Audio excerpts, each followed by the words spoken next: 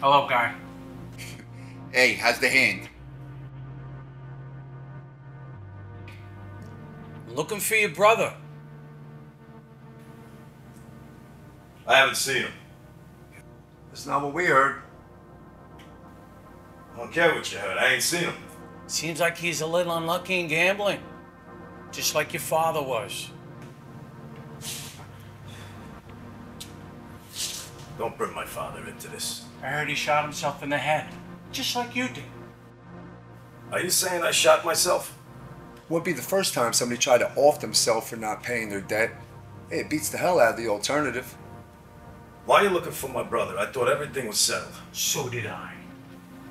Guy, I know he's back. Why do you care so much about where my brother is?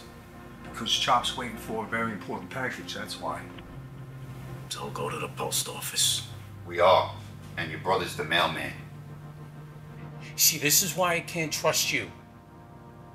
This is why I can't trust you. And I'm gonna make this simple. For a brain damaged idiot like you, if I don't get my package in two days, I'm gonna burn down your club and your brother. Message delivered. Now get out. This time, it won't be done by an amateur.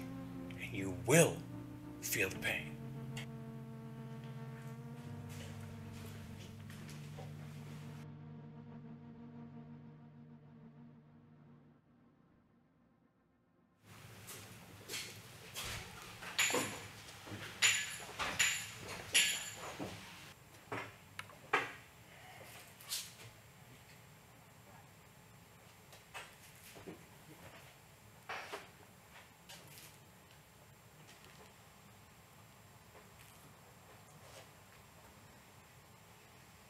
Where are you?